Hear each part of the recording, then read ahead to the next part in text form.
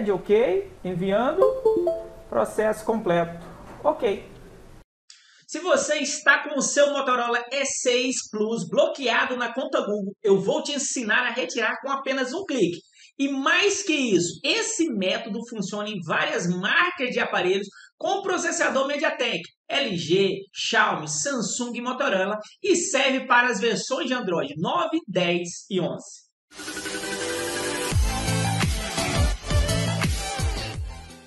Opa, Cristiano Alves aqui e nesses dias está muito comum a retirada de conta Google em aparelhos com apenas um clique.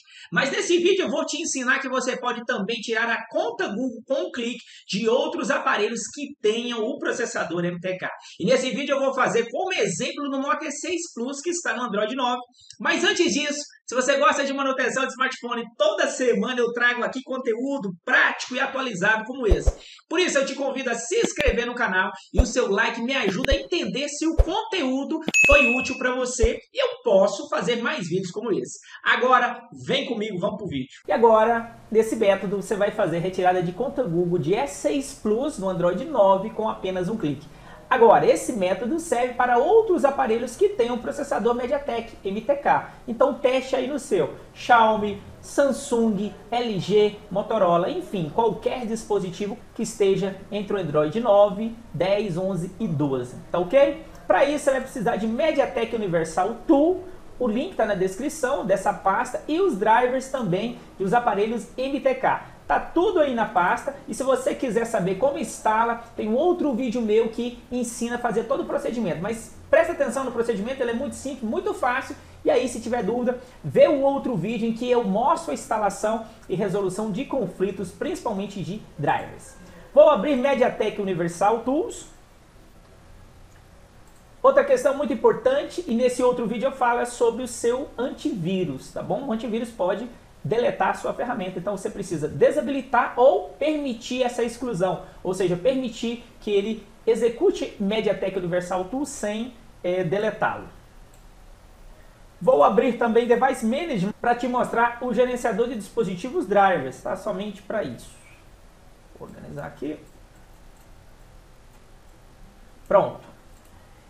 Quero te mostrar o meu aparelho. Ele está bloqueado aqui na conta Google, quero te mostrar isso aqui, então ele não vai, ó. E aqui em cima o cadeadinho mostrando que ele está bloqueado. Para fazer o procedimento, você vai marcar a opção Erase FRP e vai clicar em Start. Quando você clica em Start, ele já pede aqui para você colocar o aparelho no modo Brown, volume para cima, volume para baixo e inserir o cabo USB. Agora o detalhe é que ele diz para estar com a bateria mas eu te digo que nesse modelo e nos outros, em outros, a maioria vai ser sem bateria. E aí você deve testar, tá bom? Então eu vou desligar o dispositivo aqui, acompanha aí. Posso deixar o programa rodando aí, não tem problema algum. Vou tirar essa bateria.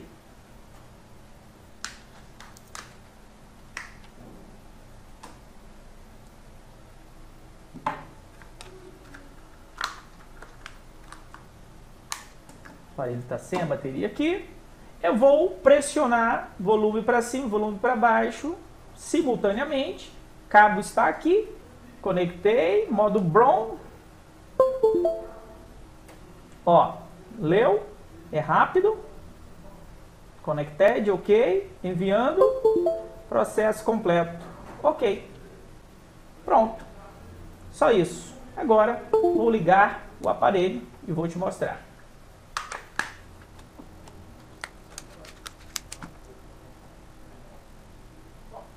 Enquanto vai inicializando, eu vou te explicando o método em si é muito rápido.